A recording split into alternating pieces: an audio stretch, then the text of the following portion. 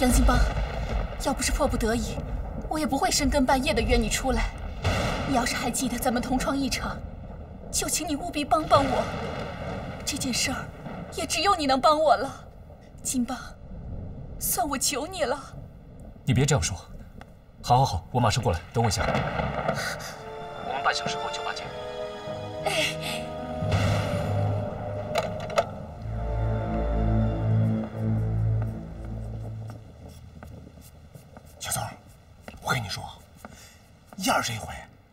机了。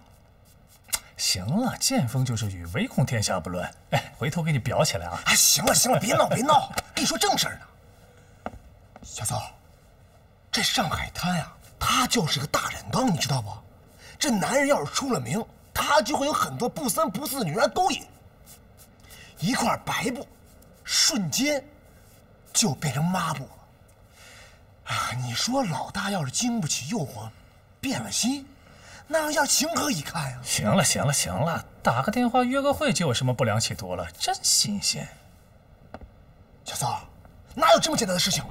你想想啊，深更半夜约一个男人去那种地方约会，十有八九两个字儿：招嫖。怎么了？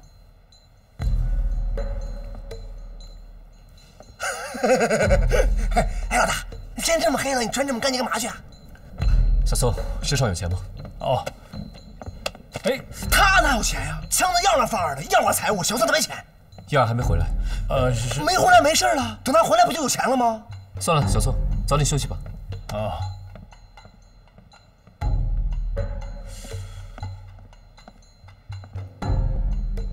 你看看，让我说着了吧？还要钱，这不明摆的事吗？最可惜的是什么？老大，你竟然把我当空气是不是啊？小宋，我跟你说，刚才幸好我反应快，没让你把钱给他，要不然咱们怎么对得起样啊？我敢保证，这块白布明天回来要是干净的，我不是小宋，你什么意思呀？为了燕儿，为了燕儿你怎么不跟他去呢林？少你比我强。哦，小宋，你终于承认我有比你强的地方了。你放心，我为了燕儿赴汤蹈火，在所如此。你把我当黄飞鸿呢？不送。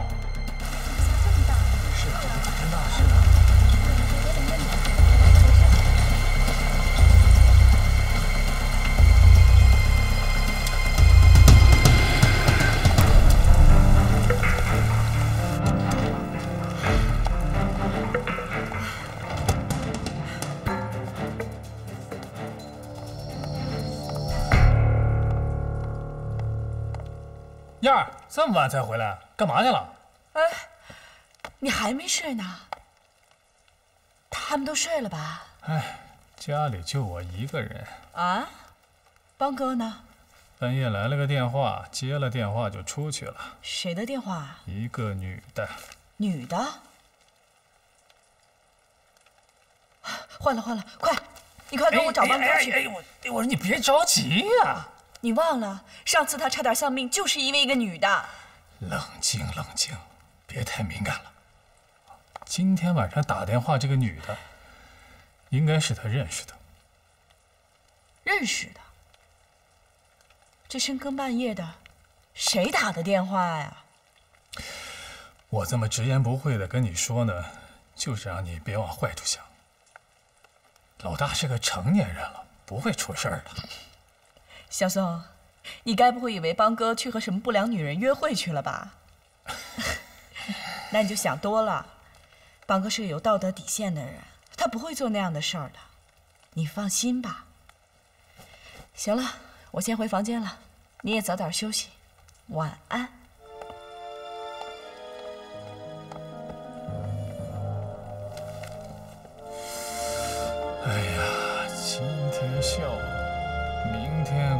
就要哭了。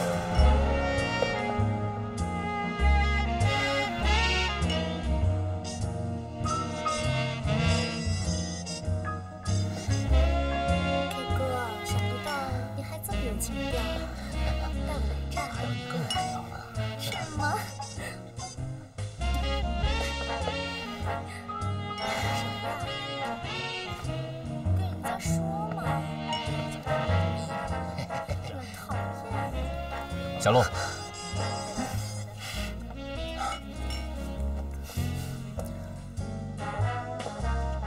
哎，K 哥，你干嘛啊？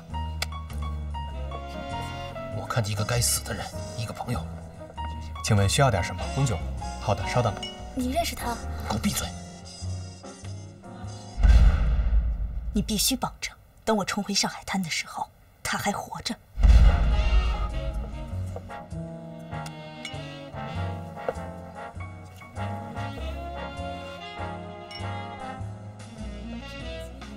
我知道，今天咱们的见面，一定会让你觉得惊讶和失望。你想问什么就问吧。要问什么？难道你就不想知道，你的老同桌？先生，您的红酒，请慢用。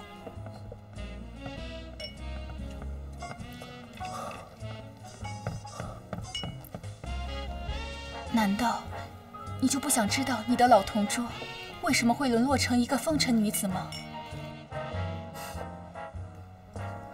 如果你觉得这样有助于你消除紧张，愿意跟我说说你的经历的话，我洗耳恭听。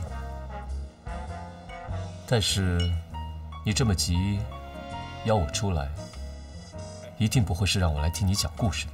老大，你这大晚上干啥呢？不睡觉？太不要脸了！其实我们刚才一见面，我就已经看出来了。看出什么？看出，其实你对我很失望。为什么？何止是失望，你心里还在鄙视我。小洛，不过没关系，谁让我走上这条路呢？小洛，你想多了。不管你现在是什么职业，都改变不了我们三年同桌和我们过去的友谊。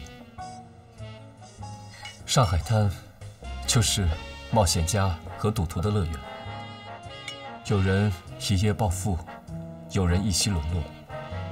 弱者无需自责。你到今天这个地步，肯定是有天大的难处。作为老朋友、老同学，我不会因为你的职业而疏远你。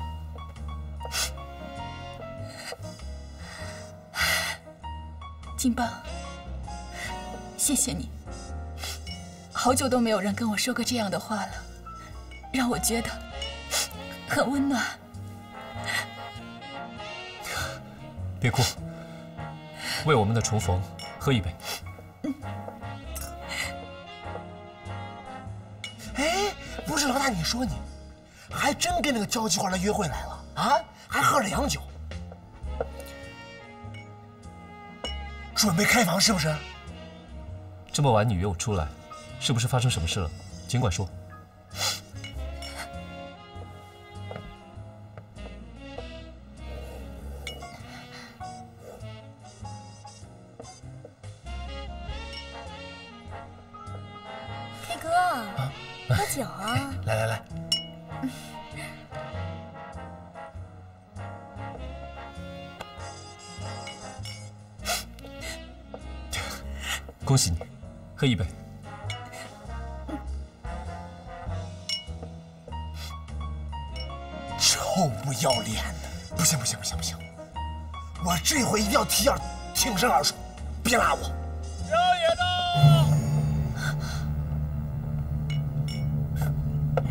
彪爷来了，您来了，里边请，里边请。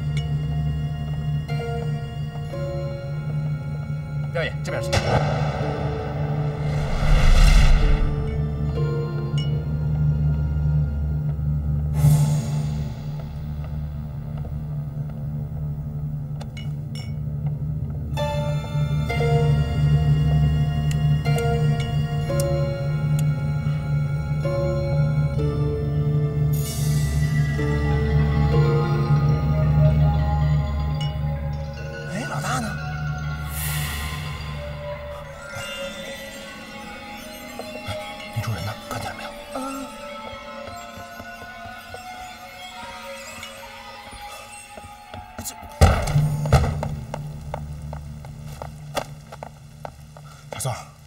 让我说着了吧？让我说着了吧？白布掉进染缸里啊！老大这回是没救了，彻底没救了。我亲眼目睹他。嘘，不是你嘘什么嘘嘘什么嘘？都什么时候了，你还嘘呢？啊！我就得说，半夜三更，那个交际花约老大去那种地方，十有八九就两个字儿：招嫖。没错，家就是那个交际花。我跟你说，小宋，你刚才是没有看见恶心肉麻那一幕啊，你知道吗？太不要脸了！这两个人喝着洋酒，拥抱、亲嘴，要不要脸？要不要脸？让人在家呢。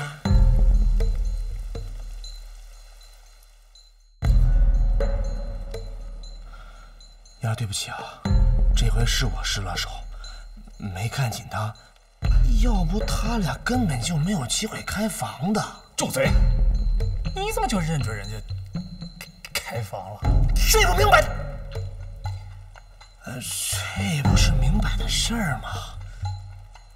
你想想啊，喝酒、拥抱、调情、开房，那是咱们老大一向说的逻辑嘛。行了，少说两句行不行？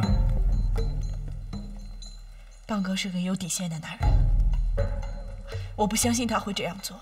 哎呀，燕儿啊，我那可是亲眼所见呀！那个交际花主动投怀送抱，除非是坐怀不乱的柳下惠，换了哪个男人能经得起那种诱惑呀？那我也不信。我和邦哥从小玩在一起，我比你们更了解他。你们只能看到他的表象，而我能看透他的内心。你们要是听明白了我的话，就不要在我面前聊这件事儿了，回房间睡你们大觉去，行吗？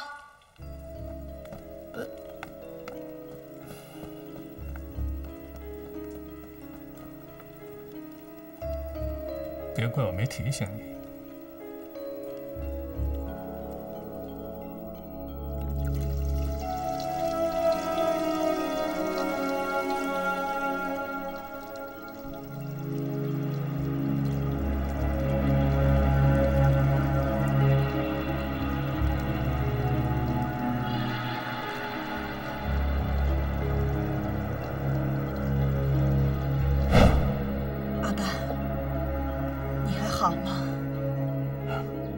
好，阿爸自然就好了。阿爸，真的很对不起。女儿啊，你没有什么对不起我呀。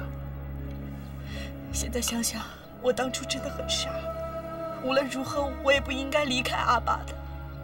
女儿啊，当初你跨出家门那一刻，我的心的确很痛啊。可心痛之余，还有无比的欣慰。正因为你那绝情的一别，让我看到了陆家几代人的风骨情怀，舍小情，求大义。这一步跨得好啊，阿爸都自愧不如啊。不，阿爸，你别这么说。女儿本来应该留在您身边照顾您的，阿爸能够容忍女儿的不孝，可是女儿却没能看出阿爸的用心。女儿真的很后悔。孩子，你千万别说后悔这样的话。我从报上一次次看到你跟金邦破的那些案子，你们是在惩恶扬善、伸张正义，特别是那个人丹案，你们打败了东洋人，扬眉吐气。阿豹真的很欣慰。阿爸，我知道你是在安慰我。孩子，我真的没有安慰你。我看到你现在这个样子，我就放心了。对了，金邦恒在心里那件事情，我会找机会跟他说清楚。不，阿爸，女儿不想你做让你感到为难的事。女儿现在想明白了，既然你不想说，就一定有不能说的道理。女儿当初真的不应该那样逼迫你。我和邦哥之间虽然还有隔阂，但是会随着时间慢慢成为过去的。阿爸，你放心，邦哥一定会成为你的好女婿的。孩子，你长大了，也懂事了，你能这么体谅你的父亲，我真的很高兴，也很欣慰。阿爸，你也要照顾好自己。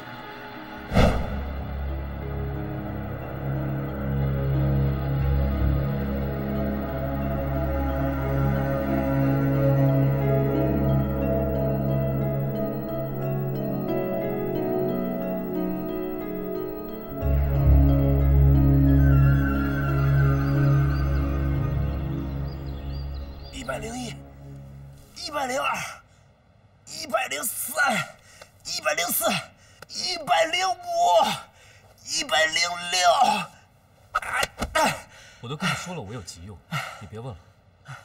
你是老板，我当然无权干涉你花钱，但是你别忘了，侦探所的每一分钱都是我们大家努力赚来的。你用这么大一笔钱，我问你干什么用，也是应该的吧？你可以问，但是我现在没法告诉你。但我可以向你保证，我不会拿这个钱去做一些见不得人的事。那既然这样，你为什么不能事先告知一下呢？难道我不能有一些隐私吗？你的隐私不就是半夜去约会一个交际花吗？肯定是蚂蟥在乱嚼舌头了。不如说是你身上的香水味暴露了你的行踪。你知道我见谁了吗？我不啊想知道你见了谁，但是我提醒你，杨金宝，你稍不留神，你的隐私会成为上海滩大小报纸的头条新闻，你会立刻身败名裂。你父亲传承给你的责任，还有你的梦想，将会在一夜之间化为乌有。陆燕儿，我真想不到你会这样想我。好啊，你要是觉得我有问题，你随时都可以走，免得我身败名裂的时候会连累你。我再问一次，给不给？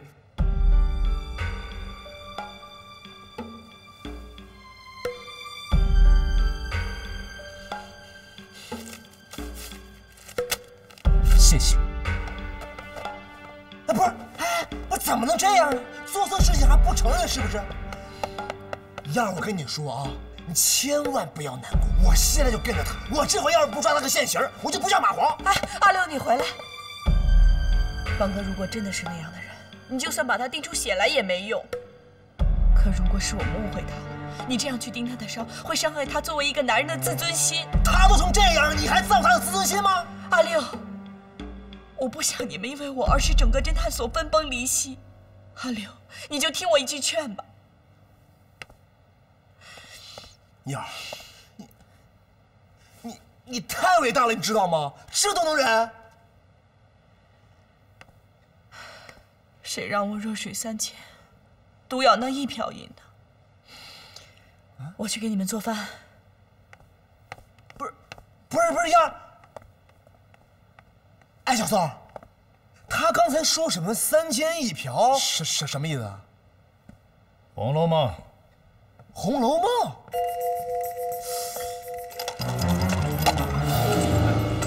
我买小，你要小，小小小，我买小，买小，小我就要大，买定离手。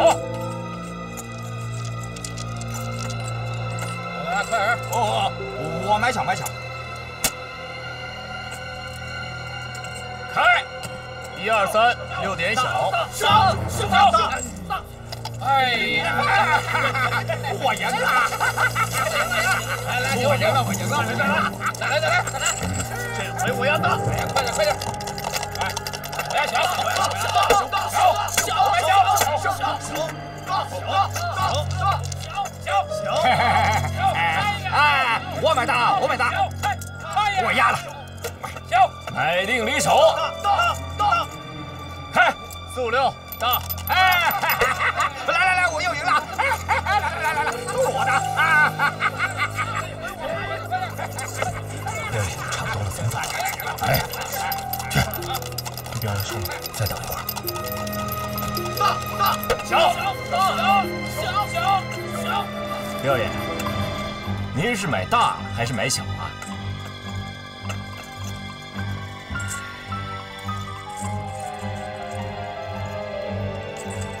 十万，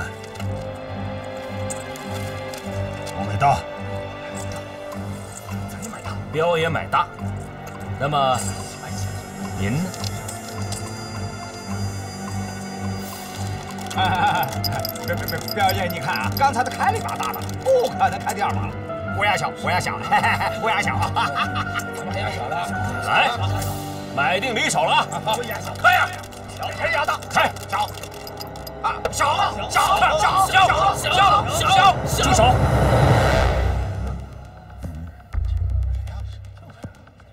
先生，请问有何贵干？不如让我猜猜里面是大还是小。我猜它是小。你什么意思？有人出老千？啊？出老千？老千？怎么可能呢？啊！先生，说话可得有证据。证据就盖在那里。如果开出来真的是小的话，我想你有必要跟彪爷。还有其他的输家解释一下。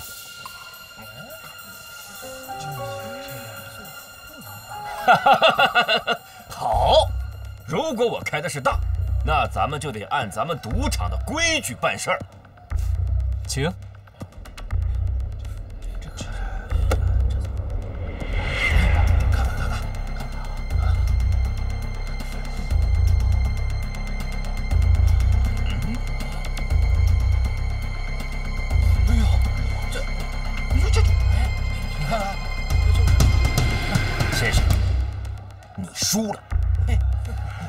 你说咱们赌场出老千，你必须得拿出证据来。有证据，有证，真凭实据。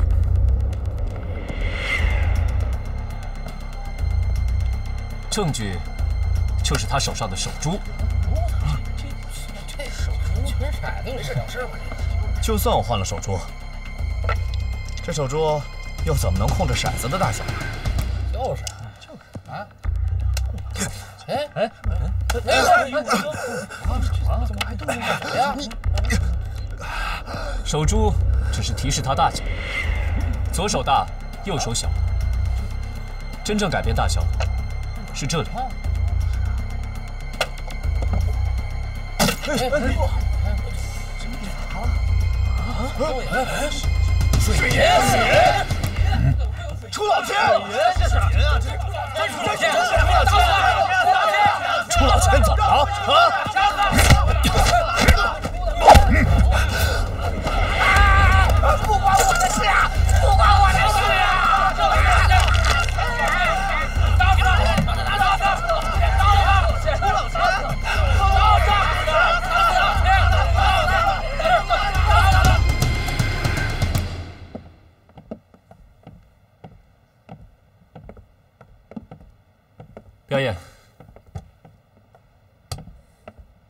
请坐。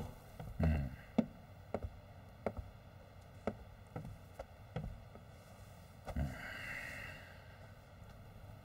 难怪先生到了眼明手快、不可思议的程度。原来是闻名上海滩的大侦探杨金邦。你看我这不是有眼不识泰山了吗？彪爷过奖。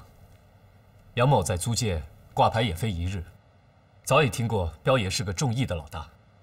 只是无缘相识，今日幸会，备薄酒一席，难成敬意，望彪爷以后多多关照。嗯，说吧。说什么？杨先生是上海滩的名人，可我彪爷也阅人无数。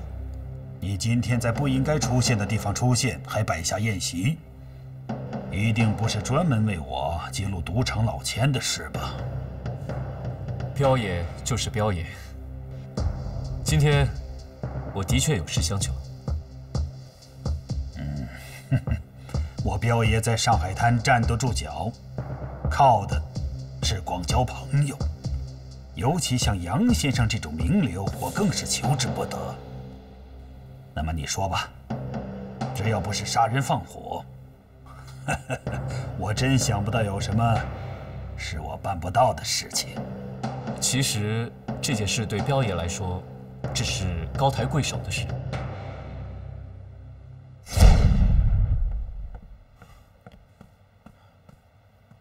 彪爷，周霞洛昨天夜里和一个男人在酒吧里。什么男人呢？听小六子说他是上海滩有名的大侦探杨金邦。小贱人，想找侦探查我的臭屁股，要挟我放他一马是吗？哼，要是那样，我就给他备一口棺材，让他死了也是我东邦的鬼。呃，彪爷，嗯，啊，你和他上床了吗？飘爷，你说什么呢？周霞洛曾经是我旗下的头牌，为了这块牌子，我可花了重金去打造的。可是他突然之间好像中邪一样，要脱离东邦，要赎身从良。其实我手下不缺这种人，但是我不可以打开这个口子，要不然我以后怎么可以拢住几百个议员呢？彪爷，真是耳目顺通啊！我都没说，你什么都说了。我知道这件事很为难彪爷，但周霞洛请我来求你，我就不嫌冒昧答应了。彪爷手下艺人如云，多他一个少他一个也无足轻重，倒不如放他一马，留下一段成人之美的江湖佳话，对彪爷来说。也是百利而无一弊啊。他请你只是为他圆夹吗？当然，我看他情真意切的，我也只好答应了。我以为他是想借你之力要挟我什么呢？要是那样的话，这个事情就不谈了。没有没有，真的没有。我答应他的原因，是因为我跟他同窗三年。哦，原来如此，那这个面子我就不得不给了。你刚才说的话算是对了，我东邦旗下艺人无数。周霞洛虽然曾经是我的头牌，可是好花过不了四季呀。他现在，不说了，不说了。既然杨先生要这个面子，这个面子我无论如何得给的。行，你回去告诉他，从明天开始。他跟我东邦再就没有任何关系。谢谢彪爷，成人之美。我彪爷做好人就会做到底的。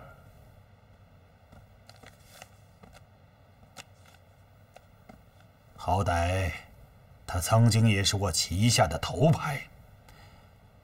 听说他要当新娘了。我这个老东家也要表示一点心意嘛，就托杨先生 把这个红包转给他。彪爷的胸怀，我高山仰止。酸词儿我就不听了，我给你那么大的面子，你要回报哦。好，彪爷尽管吩咐。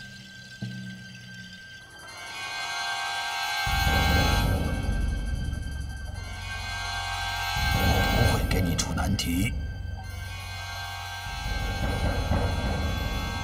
两个字，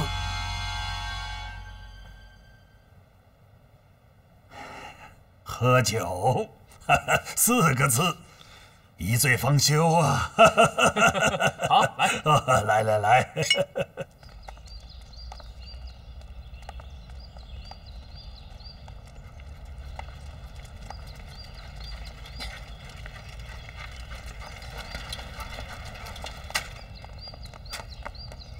先生，先生，您到家了。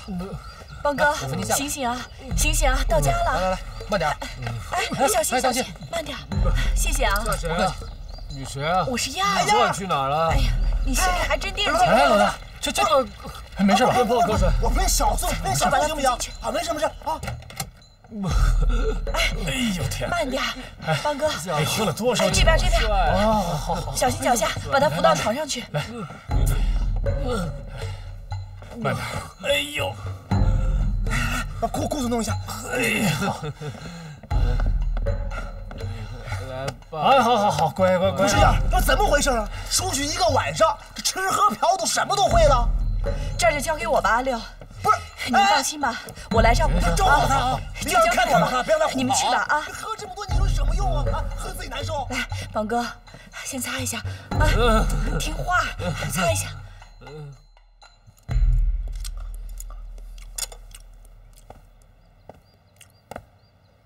燕儿，怎么样？老六，别去叫他，让他多睡会儿吧。我跟你说，这红酒就不能多喝，你知道吗？你看昨晚喝那样，我都不想说他。邦哥，早，你醒了？有吃的吗？吃什么吃啊？咱们是下人，他是贵族，他得喝红酒，这他能吃得了吗？啊啊！你踩我干你什么？坐那儿等着啊，我给你热点馄饨。好。上辈子欠他的。对了，小宋，我有些头痛，麻烦你帮我一个忙，这个送去小生公寓三零二号房，交给周小姐。嗯，钱呀、嗯，给现金了？什么意思啊？闻到一股骚臭味。你跟周小姐说，这是彪爷给她的。好。什么周小姐啊？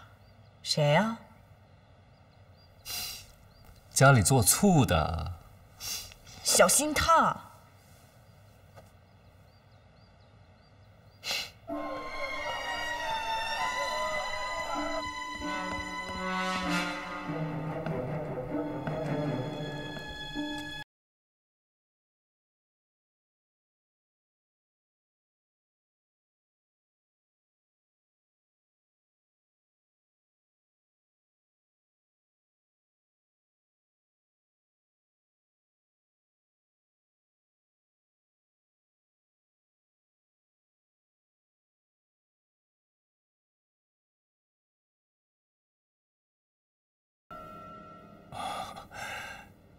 我找周夏洛小姐，她是不是应该住这个房间啊？啊，对对对对，周小姐是住在这儿，可她一大早就出去了。出去了。嗯，您知道她去哪儿了吗？我哪知道她去哪儿了？要不然你改日再来吧。哎哎哎哎！别到处乱窜，去去去去去去！哎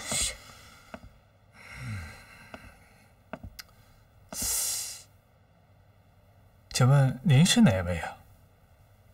你问我是哪位？哈，我是这儿的房东。房东啊。趁着房客不在房间，拿出钥匙，偷偷开的门进去看看，是不是？谁说我要进他房间了？啊，我根本就打不开他的门。拿错钥匙了吧？啊，不可能拿错钥匙，我拿的就是三零二房的钥匙，可是怎么打也打不开，不知道怎么回事。啊，是吗？我看看。你确定他不在房间是吗？哎呀，肯定不在啦。哎，算了算了算了算了，反正我也没什么大事，改天再来。等等，你干什么呀？我是这儿的房东，不是贼。你看这门，这门明显是反锁的，里面应该有人才对。哎，不可能，怎么会有人？我一大早看着他出去的。哎，也许他又回来了。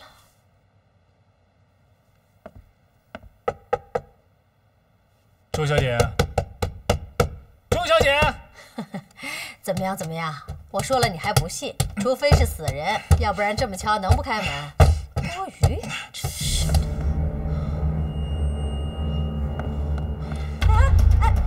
你干嘛呀你啊？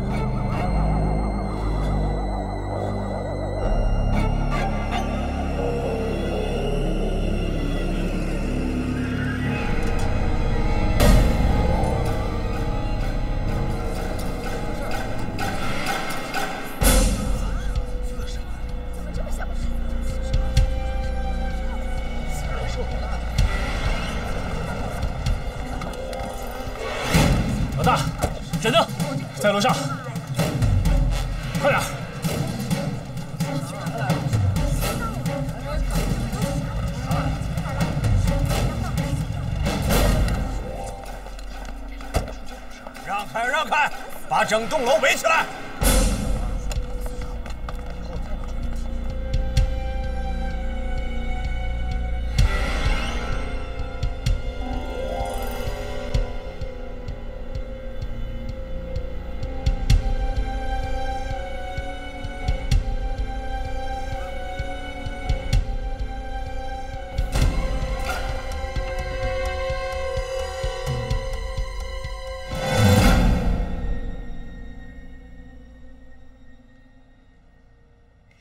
什么会是夏洛姐？先解印。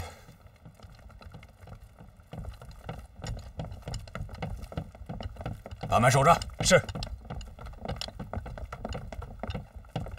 哎呀，不好意思啊，接到你电话的时候，我……小宋，你第一个到现场，跟探长报告一下，有人动过现场。你不是第一个到现场的吗？为什么会被动过？我离开现场五分钟，去街上给你们打电话了。在这期间，一定有别人来过。谁进过这房间？房东太太。我我坦白，我坦白。你当时不让我进去，可可我只是想找到他欠我的房租。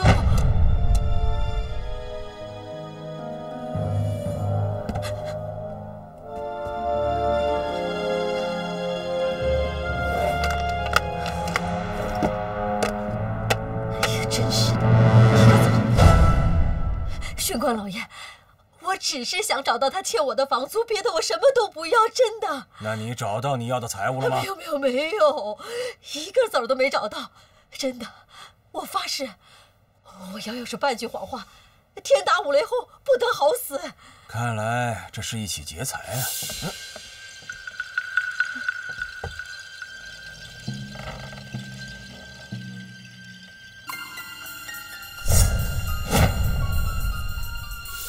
小宋，嗯，门是你踹开的吗？对，插销显然是插着的。这么说，应该是里面的人插的。看窗户，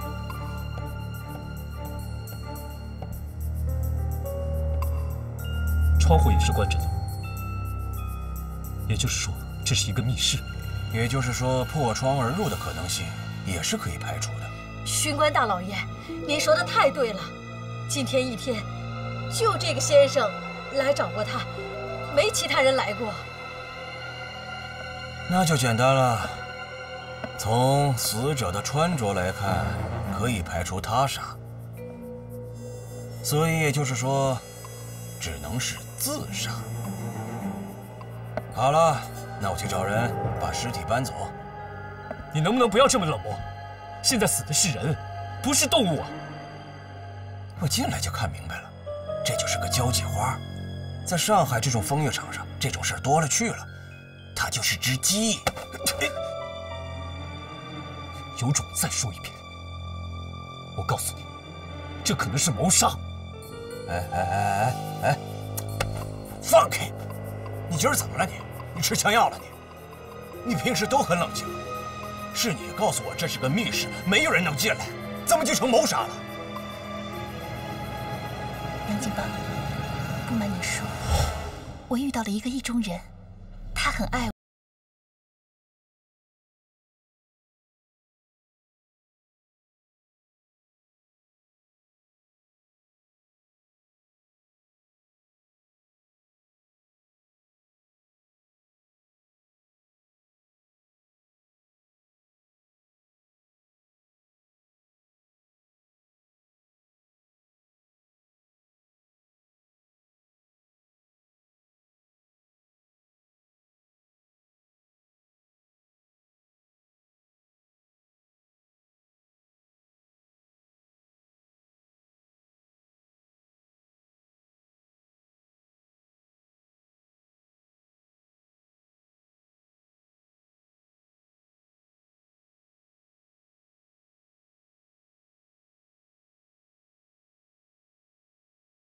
想找我当个中间人，找东邦的老大谈谈。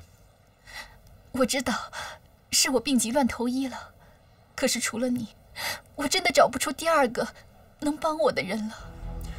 尽管我没有十足的把握，但我一定会帮你。金邦，谢谢你，我觉得上帝都在帮我，让我在走投无路的时候，在报纸上看见了你的消息。啊，金邦，我还有个不情之请。你说，在我办婚礼的时候，我想请你来做我的证婚人。啊，对了，还有燕儿，我想请她当我的伴娘，但是我怕她会不愿意。放心，她一定会愿意。这就是前天晚上她跟我见面的时候跟我说的话。